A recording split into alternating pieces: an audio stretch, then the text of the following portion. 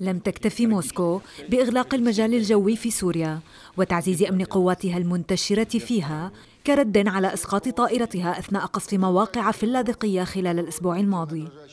الدولة العظمى راحت أبعد من ذلك بتنفيذ ما يخاف منه الجميع والمقصود هنا إعلان وزارة دفاعها عن تسليم ميليشيا أسد منظومة الدفاع الجوي إس 300 خلال أسبوعين. في صفقة استماتت إسرائيل لمنعها لدرجة تطلبت من رئيس وزرائها بنيامين نتنياهو إجراء زيارة مستعجلة إلى موسكو لتحقيق ذلك فكان له ما أراد.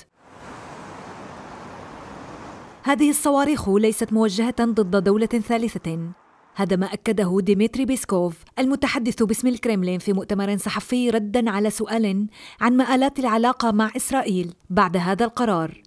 أمر أكد عليه برلمانيون روس نفوا وجود خطر لمواجهة عسكرية بين روسيا وإسرائيل بعد تسليم المنظومات لميليشيا أسد.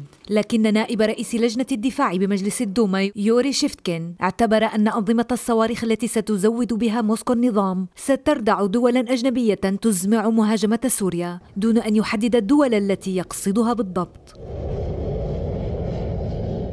وفي الوقت الذي باتت فيه إسرائيل النقطة التي تلتقي عندها التصريحات الروسية حول المنظومة تفضل السفارة الإسرائيلية في موسكو التزام الصمت ورفع عبارة لا تعليق على كل ما يجري من أحداث متسارعة.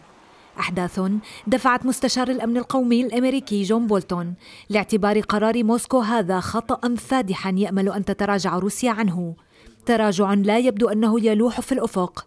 وفق تصريحات وزير الدفاع الروسي سيرجي شويغو الذي نوه إلى أن تسليم هذه المنظومة للنظام كان من المفترض أن يحصل منذ سنوات لكن تدريب ميليشيات أسد على استخدامها وجهود إسرائيل لمنع إتمام الأمر حال دون ذلك إلا أن الأوضاع تغيرت اليوم وهذا ليس ذنب روسيا كما يردد.